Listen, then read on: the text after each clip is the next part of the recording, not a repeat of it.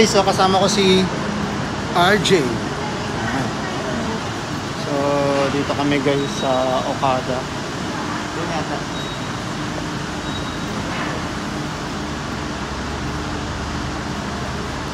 Meron kaming year-end event. Sama namin si Miss Vina Morales. So, dalawa lang kami.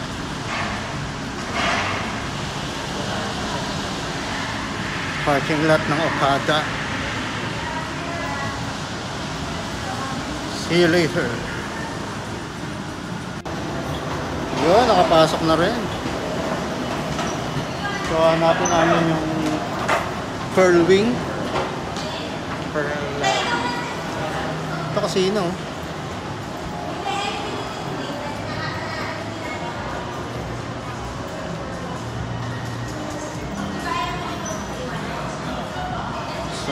Family Mart.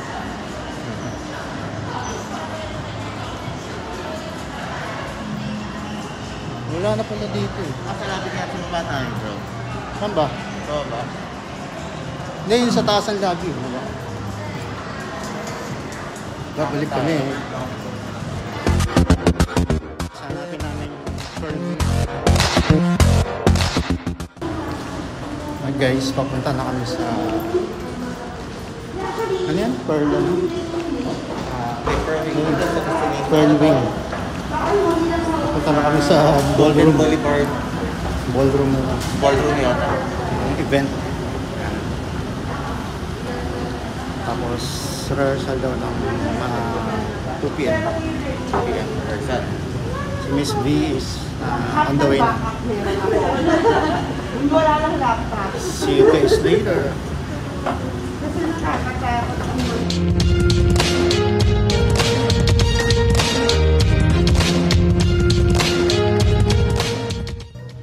yan guys, Dina Morales, Dancers Holding Room. So pasok pa sa loob. Yan, ito ang aming holding room. So medyo masikip to para sa aming dalawa. eh, pinagtsagaan na namin. Oo, kasi hindi. Sabi namin, sige na, pwede na. Yes guys, ito ang ating. Yun, ang ganda ng view. Hindi nga. Oh, Ay, Agshoray! panangal na, di ba? Oh. Dark Vader yan, pare. Yung ulo ni Dark Vader kalahati. Jumujulan ever. Ba, laki ng ano? Laki ng TV. iPad. Diba? So, dito, mag-rehearse muna kami.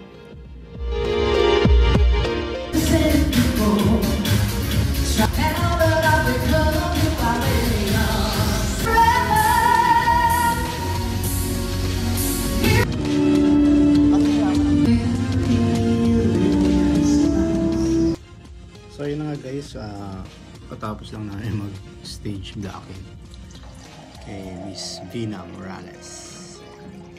So ito yung aming food, napakasarap, beef, beef ba to? Ayan. Pagod ah. So yun na nga, naka-costume na kami. Ayan, meron kami meeting. So, maya maya guys, ah mag-start na yung show ni Miss Vina Morales. Yan. So, malamig dito ngayon. So, naka, ano kami yan, suit. Tapos, rubber. Rubber lang. Peace! Sa hirap at ginhawa ang ating pag-ibig Upang di magkalayo. Kailanman Pagkat ang tulad mo ay minsan lang sa buhay ko